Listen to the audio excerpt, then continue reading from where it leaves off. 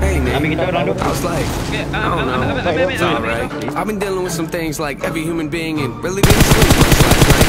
I'm sorry. That's fine. I just think I need a little me time. I just think I need a little free time. A little break from the show's and a bus ride. Last year I had a breakdown. Thoughts I getting too loud. Had to see a therapist and I found out. Something fun's going on up in my house. Yeah, I started thinking maybe I should move out. You know, my car, take a new route. Clean up my yard, get the